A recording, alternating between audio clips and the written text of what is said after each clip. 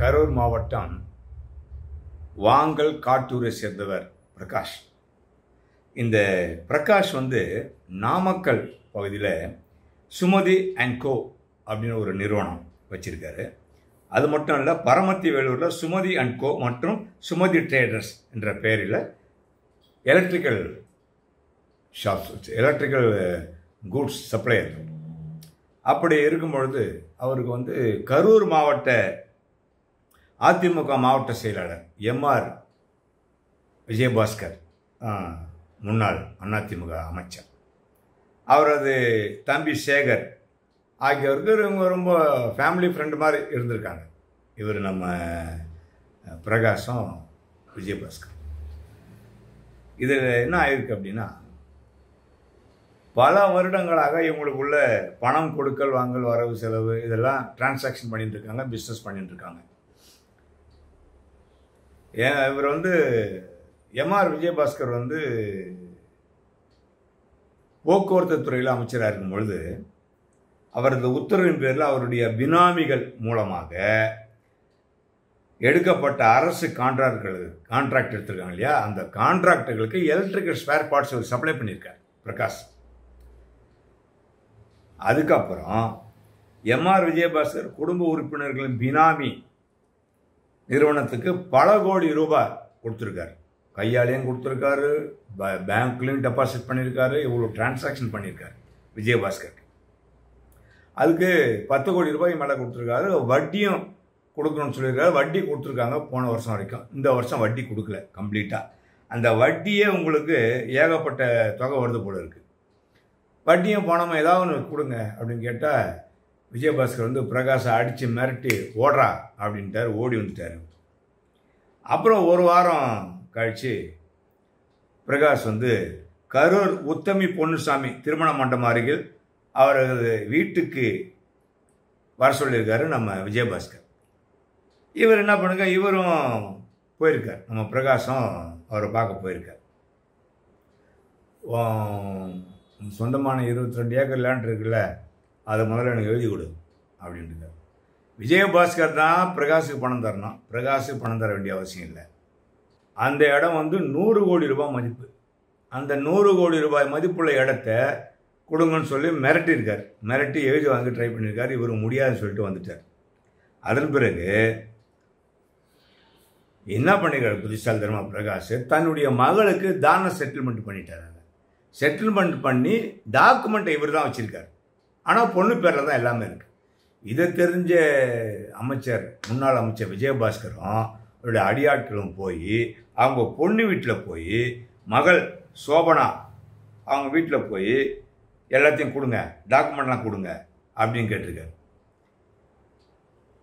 இது இது இது வந்து செட்டில்மெண்ட் வந்து எட்டு ரெண்டு ரெண்டாயிரத்தி இருபத்தி நாலு எழுதி கொடுத்துட்டார். ஏன்னா இவனுங்க மிரட்டி பிடிங்கிட போகிறானுங்கன்னு இது தெரிஞ்சு தான் போய் இவங்க அடியாட்களோட போய் அவங்க வீட்டில் மிரட்டி அவங்க ஒய்ஃபு பிள்ளைங்க பொண்ணுங்க எல்லோரும் மிரட்டி டாக்குமெண்ட்டை நீங்கள் என் பேரில் எழுதி கொடுங்க அப்படின்னு சொல்லி கேட்டிருக்கேன். அதன் பிறகு அந்த டாக்குமெண்ட் வந்து தொலைஞ்சு போட்டால் மாதிரி போலீஸில் ஒரு கம்ப்ளைண்ட் கொடுத்து இந்த டாக்குமெண்ட் சம்மந்தமாக புகார் கொடுத்தாங்க இதை எங்களால் கண்டுபிடிச்சி தர முடியல அப்படின்னு நான் ட்ரெஸபிள் சர்டிஃபிகேட் அது வாங்கிட்டார் இவர். வாங்கிட்டாருன்னா அப்போ சொத்துடைய டாக்குமெண்ட் இவருக்கு சொந்தம் தானே அர்த்தம். இதை வச்சு சப்ரிஜிஸ்டர் ஆஃபீஸில் கொடுத்து டாக்குமெண்ட் காணாத போச்சு ரிஜிஸ்டர் பண்ணிட்டார். ரிஜிஸ்டர் பண்ணிவிட்டு இது என்ன ஆகுதுன்னு அப்படின்னா சித்தார்த்தன் மாரியப்பன் செல்வராஜ் இவங்க பேரில் கிரயம் பண்ணியிருக்காரு. எப்படி? இவர் பேரில் கிரயம் பண்ணல. இவங்க மூணு பேரில் கிரயம் பண்ணியிருக்காரு. அஞ்சு பைசா கொடுக்கல. சும்மா கிரயம் பண்ணாமல் ஒரு டாக்குமெண்ட்டை போலி டாக்குமெண்ட்டை கிரியேட் பண்ணி கொடுத்துட்டாரு.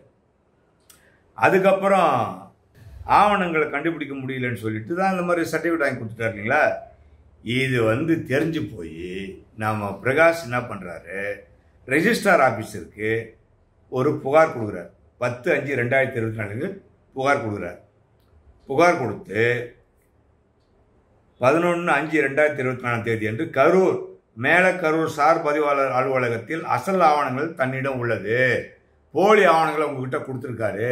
காணாத போனதாக சர்டிஃபிகேட் வாங்கி கொடுத்துருக்காரு.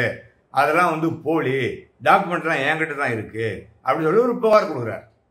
அதன் பிறகு விஜயபாஸ்கர் அவங்க அடியாட்கள் எல்லாம் இவங்களை மிரட்டி இருக்காரு அதனால இவர் அமைதியாக இருந்திருக்காரு. எதுவும் போலீஸ்லாம் கம்ப்ளைண்ட் கொடுக்காம அதுக்கப்புறம் இப்போ போலீஸில் கம்ப்ளைண்ட் கொடுத்துட்டார். நான் பயந்து போயிருந்தேன். இப்போ வந்து எனக்கு தைரியம் இருக்குது தைரியம் வந்துடுச்சு அதனால வந்து கம்ப்ளைண்ட் கொடுக்க சொல்லி விழாவரியாக போலீஸில் கம்ப்ளைண்ட்டை கொடுத்துட்டார் நூறு கோடி மதிப்புள்ள இருபத்தி ரெண்டு ஏக்கரை இது வந்து பறிச்சிட்டாரு.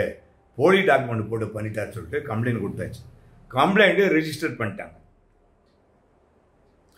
கம்ப்ளைண்ட்டை ரெஜிஸ்டர் பண்ணிட்டாங்க. ரெஜிஸ்டர் பண்ணி ஆனால் இவரை வந்து விஜயபாஸ்கர் வந்து அந்த எஃப்ஐஆரில் சேர்க்கல. ஆனால் இப்போ சேர்க்க போகிறாங்க இது குறித்து தான் விஜயபாஸ்கர் வந்து கரூர் கோர்ட்டில் முன்ஜாமீன் கேட்டு மனு போடுறார். மனு போட்டு அது டிஸ்மிஸ் ஆகிப்போச்சு மறுபடியும் மனு போடுறார். அதாவது அந்த மனு இன்னைக்கு வந்திருக்கு. இன்னைக்கு வந்து இன்னைக்கு டிஸ்மிஸ் ஆகி இந்த மாதம் இருபதாம் தேதியோ இருபத்தெட்டாம் தேதியோ வாய்தா போட்டிருக்காங்க.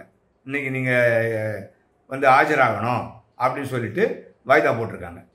வாய்தா போட்டதில் இப்போ விஜயபாஸ்கருக்கு வந்து இப்போ பயமாகி போச்சு. எப்படி எஃப்ஐஆர் ஏன்னா அந்த வழக்கு வந்து லோக்கல் கோர்ட்லேருந்து சிபிசிஐடி கோர்ட்டுக்கு போயிடுச்சு. சிபிசிஐடி போலீஸுக்கு போயிடுச்சு.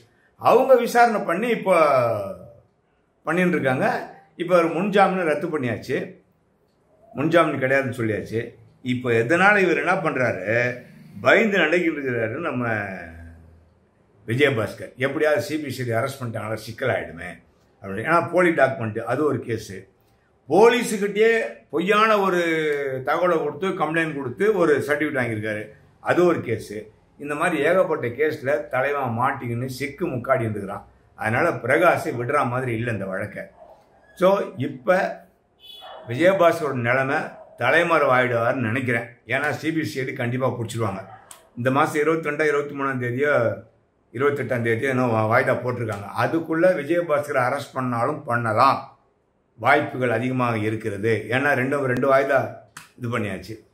சிபிசிஐடி ஏற்கனவே இவர் அரெஸ்ட் பண்ணியிருக்கணும் அரெஸ்ட் பண்ணாத வேடிக்கை பார்த்துட்டாங்க. இருபத்தி ஒன்றாம் தேதி வாய்தா. இருபத்தி ஒன்றாம் தேதி மீண்டும் விசாரணைக்கு வருது. அன்னைக்கு பயில் கொடுப்பாங்களா கொடுக்க மாட்டாங்களான்னு தெரியாது. அதுக்குள்ளே சிபிசிஐடி போலீஸார் விஜயபாஸ்கரை அரெஸ்ட் பண்ண போகிறாங்க விஜயபாஸ்கர் தலைமறைவு ஆக போகிறாரு அப்படின்னு எல்லாரும் அவங்க கட்சியிலேயே பேசிட்டு இருக்காங்க. அவர் தலைமறைவு ஆக போகிறாரா? சிபிசிஐடி போலீஸார் அவரை பிடிக்க போகிறார்களா? இல்லை வருகிற இருபத்தொன்னாந்தேதி வரைக்கும் வேடிக்கை பார்க்க போகிறாங்களா சிபிசிஐடி அப்படிங்கிற தகவல் எல்லாம் மறுபடியும் சேகரித்து அடுத்த பதிவில் உங்களை சந்திக்கின்றேன். நன்றி. வணக்கம். Like share and subscribe subscribe பண்ணாதவங்க இப்பவே சப்ஸ்கிரைப் பண்ணிருங்க. எங்களோட அப்டேட்ஸ் உங்களுக்கு வரணும்னா பெல் பட்டனை பிரஸ் பண்ணுங்க.